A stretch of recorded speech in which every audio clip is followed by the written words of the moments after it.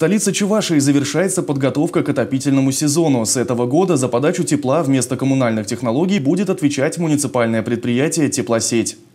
Еще в 2007 году коммунальные технологии получили в аренду около полусотни городских котельных и более 300 километров тепловых сетей. В этом году из-за миллионных долгов компании арбитражный суд вынес решение о расторжении договора аренды между городом и коммунальными технологиями. Сейчас сети, котельные и имущество передают обратно. Заниматься подачей тепла отныне будет специально созданное муниципальное предприятие «Теплосеть». В новую организацию перейдет и большая часть персонала.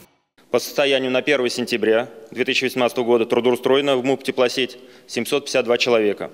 В течение сентября в МУП «Теплосеть» будут дополнительно приняты работники производственных участков и инженерно-технических служб, необходимых для осуществления деятельности предприятия. Общая штатная численность предприятия составит 1140 человек.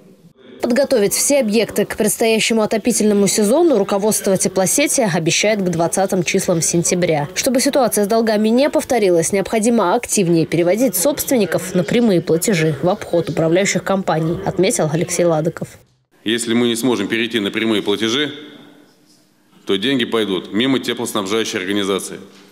Соответственно, теплоснабжающая организация не сможет платить за поставку газа за поставку других энергоресурсов, что может привести к очередному банкротству уже нашего муниципального предприятия.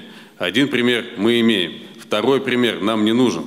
По нормам отопления дают, когда средняя температура в течение пяти суток не поднимается выше плюс 8 градусов. По предположениям синоптиков, это произойдет через 3-4 недели. Ольга Пырышкина, Игорь Зверев, Республика.